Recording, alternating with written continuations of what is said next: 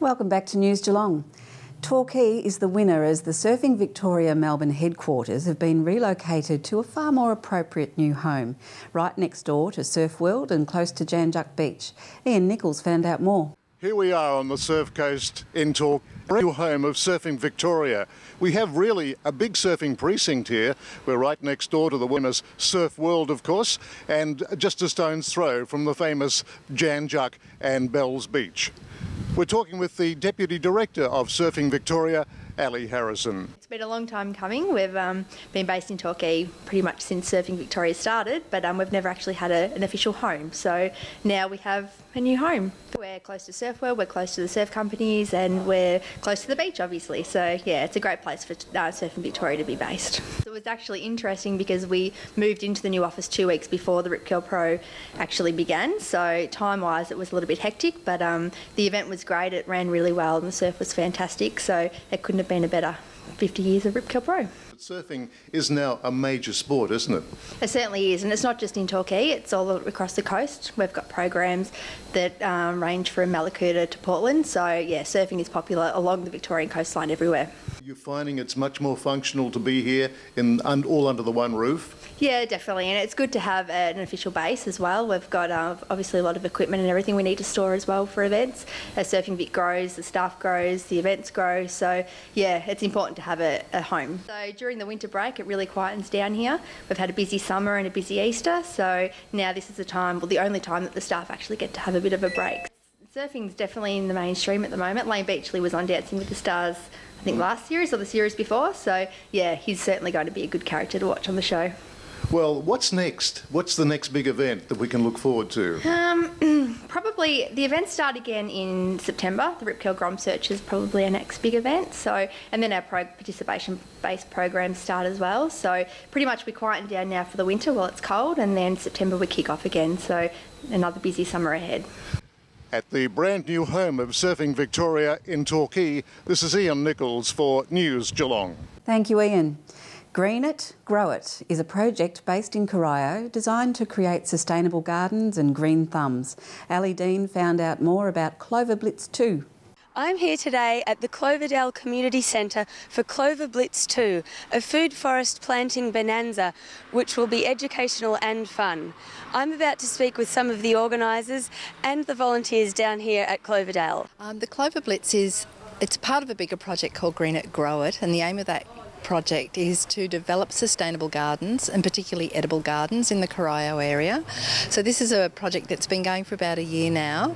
Um, the Clover Blitz, which is what's happening today, is our second one, and we've got members of the community who are here to help plant our food forest, which is just along the side of the centre.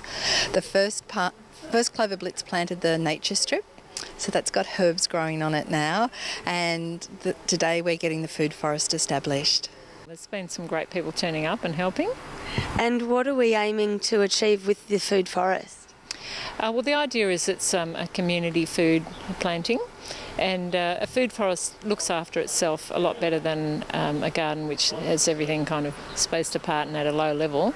So it's mimicking nature, having taller trees and shrubs and ground covers and that sort of thing so that uh, things are naturally shaded and don't need as much watering and they have exchanging things under the soil as well that we don't know about sometimes.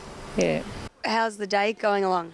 Yeah, it, it's quite can be tiring. It's rewarding.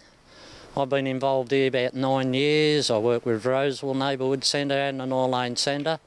Uh, a bit of advice for anybody that's sitting around bored, get off it and get out and volunteer somewhere because it can be very, very rewarding. Oh, it's gone fantastic. We've had so many people turn up and put in their time, free time, and, and volunteer to help make this the area around this uh, community centre edible because we're hopefully going to, I mean, if you've seen the area at the back, we're hopefully this can become the food bowl for Corio, and we've already planted up five fruit trees and fruit bushes. We've got herbs at the on the nature strip. We've got plants donated by the Friends of Geelong Botanic Gardens. Uh, we've got the herb garden behind you. So it's becoming a very productive area. And there's plans, I hear, to have a food swap here as well. So it's very exciting. Ali Dean, News Geelong. Thank you, Ali. The arts are well and truly alive at the Geelong Performing Arts Centre with the latest Alcoa Theatre season offering Riverside Theatre's production of Rainbow's End. News Geelong was there. We're here at GPAC where the latest Alcoa Theatre season show is Rainbow's End. It's on in the Drama Theatre and it runs tonight and a matinee tomorrow and tomorrow night. A wonderful moving story about three generations of Koori women and uh, it stars Christine Anu and we were able to speak with a couple of the cast, one of which who's just stepped into the role on the weekend and gave a flawless performance on opening night. So you can come along and see it at GPAC. Now, it must have been a scary moment, but also so challenging. Yeah, um, I mean, it certainly, I think, has improved on my learning lines. I know how to um, pick them up really quickly. So, um, that's certainly a skill that we need to learn. So that's a really exciting thing that I never knew I could do. All right, and you're with this wonderfully experienced cast in Christine Anu and Lillian Crombie, and of course Garth as well, who's been on our Geelong stages before. Uh, Garth, you're the thorn amongst the roses here. You play several male parts, but the only boy in the cast. How's that? It's an honour, actually, being the only male in the cast. Um, you certainly learn how to fit in and play your part and be a support. Uh, and I guess that's what my role is in the show, really. And as you said, to play as many characters as I do is also a challenge. Um, slightly schizophrenic, but uh, no, it's been great. It's, it's an honour. All right, so a little rundown, I guess, of the story of the play for people at home. Yep, it's uh, set in 1954 in the flats near Mooroopna. It's a, basically a story about three generations of Aboriginal women um, living on the flats, living in a humpy, kind of dealing with the political and social issues of the time. This is News Geelong as we go to a break and return with sport and weather after this.